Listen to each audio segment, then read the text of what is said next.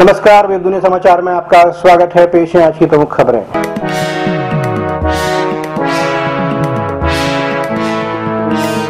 भारत ने किया अग्नि एक परमाणु मिसाइल का परीक्षण। भारत ने स्वदेश में निर्मित मध्यम दूरी की परमाणु आयत ले जाने में सक्षम अग्नि एक बैलिस्टिक मिसाइल का सोमवार सुबह नौ बजकर पंद्रह मिनट पर अब्दुल कलाम आइलैंड स्थित इंटीग्रेटेड टेस्ट रेंज के लॉन्च पैड चार से इसका परीक्षण किया। यह मिसाइल 700 किलोमीटर दूर स्थित लक्ष्य को निशाना बना सकती है। सतह से सतह पर मार करने वाली यह एक चरणी मिसाइल ठोस प्रणोदकों से चलती है। एक रक्षा अधिकारी के अनुसार इस अत्याधुनिक मिसाइल ने 700 किलोमीटर की दूरी 9 मिनट 36 सेकंड में पूरी की। कुल 12 टन वज़न की 15 मीटर लंबी है अग्नि मिसाइल एक टन से अधिक का भार ले जा सकती है, जबकि भार घटाकर इसकी मारक क्षमता बढ़ाई जा सकती है।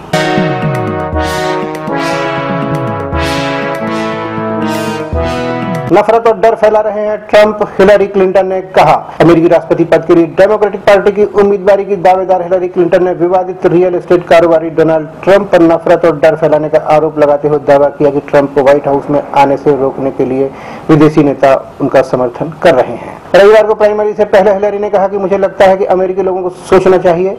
यह साफ़ है कि ट्रंप बेहद उन्मादी तरीके से अभियान चला रहे हैं और अमेरिकी लोगों के समूहों को एक दूसरे के खिलाफ कर रहे हैं।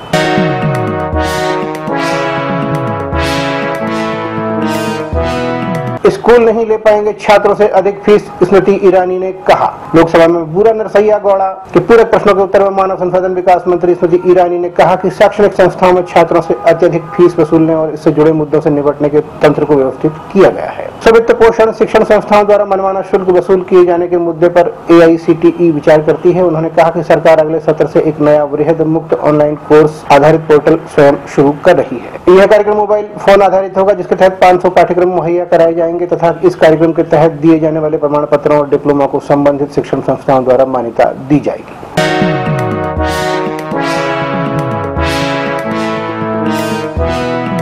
गुलाम नबी आज़ाद ने कहा, इस्लामिक स्टेट से नहीं की आरएसएस की तुलना। राज्यसभा में विपक्ष के नेता गुलाम नबी आज़ाद ने सोमवार को भाजपा के इस आरोप को सिरे से गलत बताया कि उन्होंने जमीयत उलेमाए हिंद के कार्यक्रम में दिए अपने भाषण में राष्ट्रीय स्वयंसेवक संघ की तुलना, खतरनाक आतंकवादी संगठन इस्लामिक स्टेट से की थी। भाजपा के मुख्तार अब्बास नकवी द्वारा राज्यसभा में यह मामला उठाए जाने पर आज़ाद ने कहा कि उन्होंने इस तरह की तुलना नहीं की है। वे अपने भाषण के अंश पढ़कर सुना रहे हैं और यदि इसमें कुछ गलत पाया जाता है तो उनके खिलाफ विशेषाधिकार हनन का मामला लाया जा सकता है।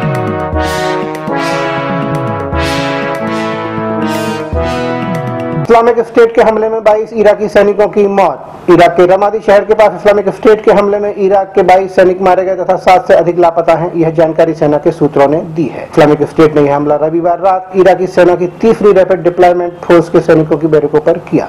हमले में सोलह सैनिक घायल हो गए।